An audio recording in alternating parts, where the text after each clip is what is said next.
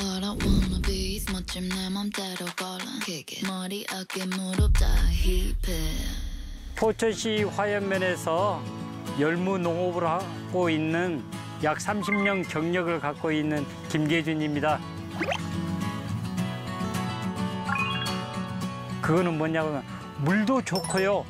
또 공기도 좋고 우리 지역에 장목반이 잘 결성이 돼 있습니다. 열무 장목 반원들이 정보 교환도 나누고 기술 교류도 해가지고 품질이 좋은 열무를 생산해내고 있습니다.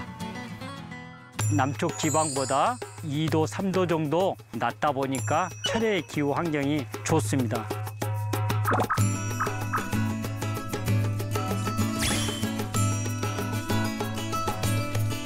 저희는 어린 열무를 키우고 있습니다.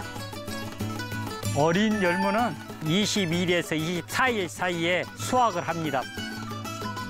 아삭하고 부드럽고 길이가 약 22에서 25cm 안쪽입니다.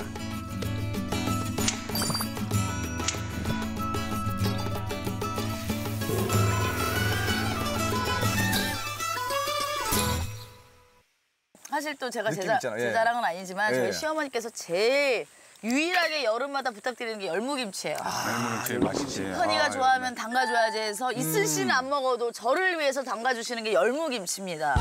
열무 얼마 안 남았어. 정말 다 밭에서 그 재료를 따서 직접 담가주신 거예요. 열무 기운으로 처음에 비비는 거예요.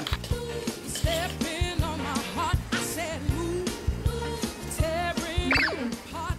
너무 맛있어. 김치 너무 맛있어요. 김치 너무 맛있죠?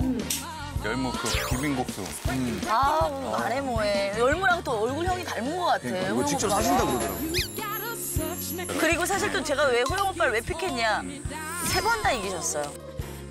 이겼 내가- 최다 우승자야. 고성의 꽃새우. 꽃새우. 해남의 초당 옥수수. 소다 옥수수. 미니 밤호박. 호영 씨는 몇 승? 무승. 무승. 아 오늘 불안한데.